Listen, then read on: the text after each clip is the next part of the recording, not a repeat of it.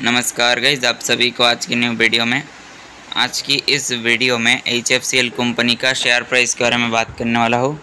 कौन कौन से लेवल टारगेट को कौन कौन से सपोर्ट रेजिस्टेंस को अगला ट्वेंटी जुलाई के दिन फॉलो करना चाहिए तो वीडियो को आप लोग एंड तक ज़रूर से वॉच करना।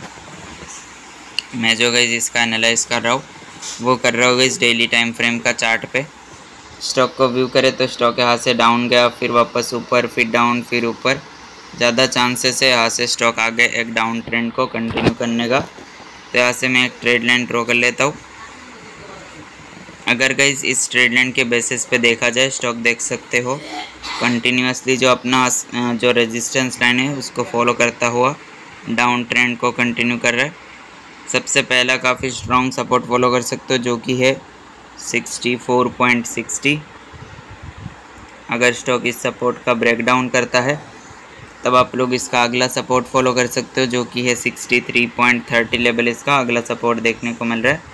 और जो गईज़ आप लोग इसका काफ़ी ज़्यादा स्ट्रॉन्ग रेजिस्टेंस को फॉलो कर सकते हो, जो कि देखने को मिल रहा है। Sixty six point zero zero पर इसका रेजिस्टेंस देखने को मिल रहा है।